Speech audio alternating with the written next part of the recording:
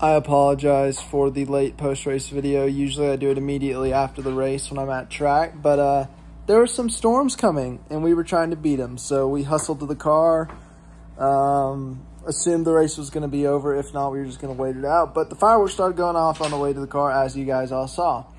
And um, yeah, so we had to beat the storm. It's about a 45 minute drive to our hotel. So yeah, we're here, thankfully, uh, safe. And uh, that's the reason for the delay. And I hope you guys enjoyed the Harvick um, tribute from Richard Childress and the other things and all that. And well, I'll let you guys uh, see everything else. Didn't get as much as I wanted to, but uh, thank you again for a million views, and I'll see you in the next video.